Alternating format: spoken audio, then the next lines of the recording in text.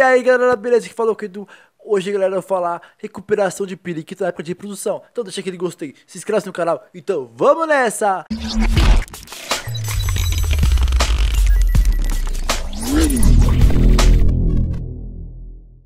Hoje, galera, eu vou trazer aqui pra vocês sobre a recuperação da sua fêmea de Pyrixoriana na época de reprodução. Porque ela se desgasta bastante. Vou tentar explicar pra vocês todo esse período de chocar e, de, e alimentar os filhotes. É muito cansativo para a fêmea. Por isso é necessário calce essa fase. Chocar e alimentar. Assim não se desgasta tanto. Muitos criadores só pensam no lucro em fazer as aves reproduzir várias vezes. Uma atrás do outro. E isso desgasta muito a ave. Pode até chegar a matar a sua fêmea. Fica muito cansativo e faz muito mal para a saúde dela. Por isso, quando ela termina a ninhada, continue reforçando a alimentação, colocando pedra de cálcio e um pouco de vitamina, até ela se recuperar e deixa ela 3 meses descansando. A ninhada depois.